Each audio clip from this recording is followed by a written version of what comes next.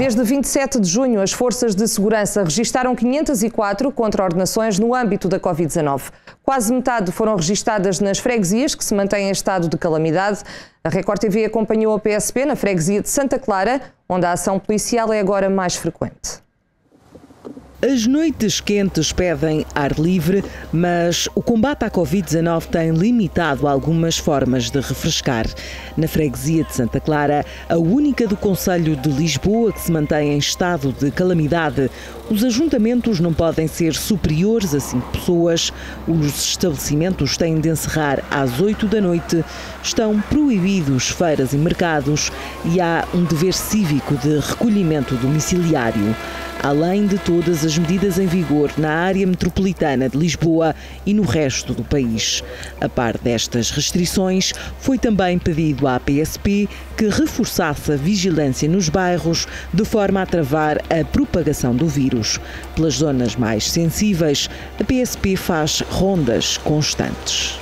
Fizemos uma operação no fundo não uh, específica num, num, só local, passámos por várias artérias, com especial incidência no Largo de, das Galinheiras, por ser um local um, eh, referenciado por esta polícia onde normalmente há um maior aglomerado de pessoas na, na, via pública e eventualmente a consumir bebidas alcoólicas. Tanto no Largo das Galinheiras como nas outras artérias esteve muito mais calmo. O bairro da Cruz Vermelha ou o bairro das Galinheiras são alguns pontos mais sensíveis da freguesia e onde a PSP é também obrigada a estar mais atenta. Frequentemente e mais no período noturno um, existem reclamações ou chamadas para, para a esquadra, uh, para a polícia, ou via 112, de, de ajuntamentos em determinadas zonas que, ao termos conhecimento de, das mesmas, dirigimos os meios para, esse, para esses mesmos locais para ter uma intervenção mais célere no, no, no momento, no sentido de sensibilizar ou eventualmente de, de, adotar um outro procedimento que seja, que seja necessário no momento. Os dados mais recentes do Ministério da Administração Interna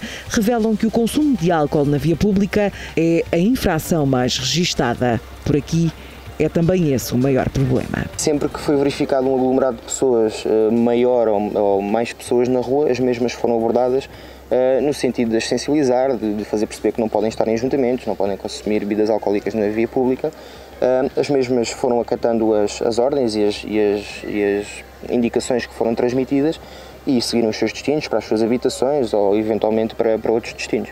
No entanto, a PSP garante que, desde o dia em que o estado de calamidade se manteve na freguesia de Santa Clara, o comportamento da população mudou drasticamente. Desde que foi tornado público que a freguesia de Santa Clara era uma das freguesias mais afetadas, um, tem-se visto uma, uma diminuição uh, muito grande ao nível do, dos ajuntamentos.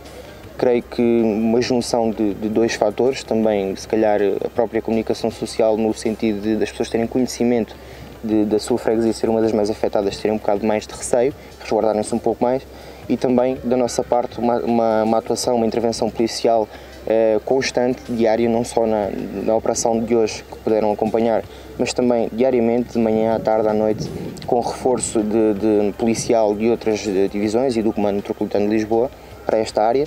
Uh, também em colaboração com equipas multidisciplinares uh, de, com a Polícia Municipal, uh, enfermeiros, Proteção Civil e tem sido feito um trabalho de, de colaboração constante. Segundo apuramos, desde o dia 1 de julho, nenhum auto de contraordenação foi levantado na freguesia de Santa Clara. Ainda assim, até ao final do mês de julho, as regras apertadas mantêm-se.